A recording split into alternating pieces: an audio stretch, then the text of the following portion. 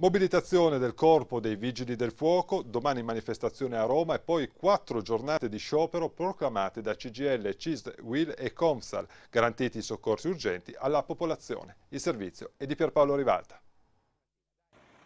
Chiedono più dignità ai Vigili del Fuoco che proclamano quattro giornate di sciopero il 21 novembre e il 2, 12 e 21 dicembre. Domani, in occasione della manifestazione nazionale in piazza Montecitorio a Roma, ci saranno anche due presidi nelle Marche, davanti alle prefetture di Pesaro e Macerata. Le ragioni della mobilitazione legate alla mancanza di risorse per il corpo nella legge di bilancio. Anche dal punto di vista retributivo noi chiediamo semplicemente di essere parificati alle altre forze dell'ordine, niente di più, niente di meno.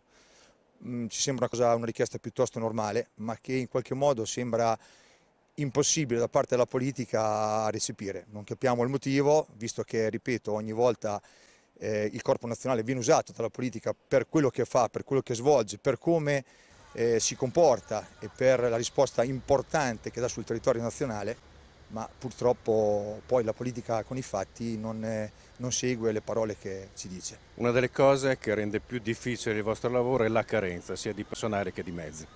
Sì, purtroppo ormai è una cosa che va avanti da anni, eh, non si rinforza il personale con nuovi ingressi e la carenza è cronica del 7-8% a livello nazionale e purtroppo ogni volta si mette a rischio il soccorso.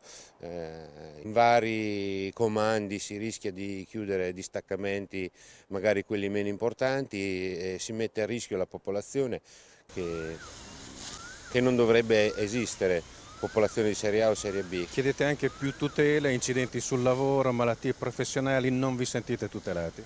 No, assolutamente no, perché ad oggi noi Vigili del Fuoco non abbiamo una copertura da parte dell'INAIL e questo eh, poi ci porta a pagare noi le spese eh, per quanto riguarda gli eventuali infortuni e quindi di metterceli di tasca nostra e poi eventualmente in un futuro se ci viene rimborsato il tutto.